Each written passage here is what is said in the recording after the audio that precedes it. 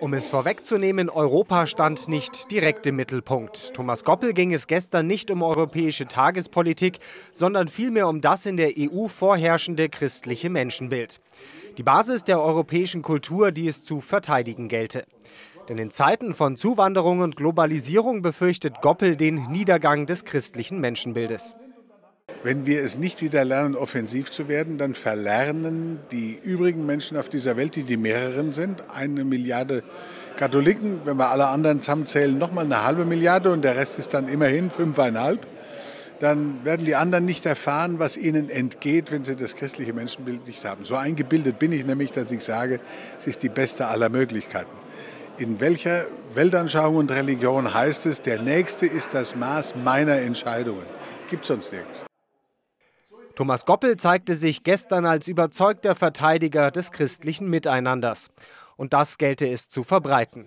Europa exportiere hochwertige Autos, Waschmaschinen und andere Güter. Das christliche Menschenbild jedoch würde Europa nicht verbreiten. Ein Fehler in seinen Augen. Denn die Gleichheit aller Einzelnen, auch die Basis der Europäischen Union, sei ein Modell, von dem die Welt etwas lernen könne. So ganz und ausschließlich philosophisch war Goppel dann aber doch nicht. Das Thema EU-Mitgliedschaft der Türkei brachte der ehemalige Europaminister dann doch. Einem Beitritt erteilte er eine Absage derzeit. Wenn ich das christliche Menschenbild habe, hat jeder ein Anrecht auf mitgenommen werden. Ich muss mir nur Stufen erlauben dürfen, in denen ich weiß, dass er meine Grundsätze nicht verletzt. Dort, wo Verletzungen überhand nehmen, muss ich ihn dann vor der Tür halten. Sie würden auch niemanden bei sich zu Hause zuerst ins Schlafzimmer einladen, sondern erstmal in die Diele.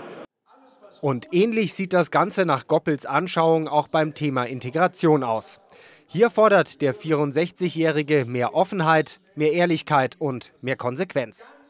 Wir müssen jemandem nur beim Eintreten in eine Gemeinschaft wie die unsere sagen, zu welchen Bedingungen das leichter fällt. Und wenn ich jemanden abgewöhne, sich darauf einzustellen und von vornherein sage, wir lassen dich so, wie du bist, um Gottes Willen, wir wollen alles bei dir schön richten, fühl dich wohl bei uns, aber ärgere uns ruhig, kann es nicht gut gehen.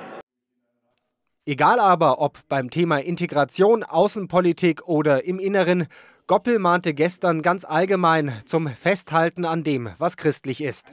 Jeder ist gleich vor dem Himmel, so Goppel, egal ob Christ oder Moslem, ob Europäer oder nicht.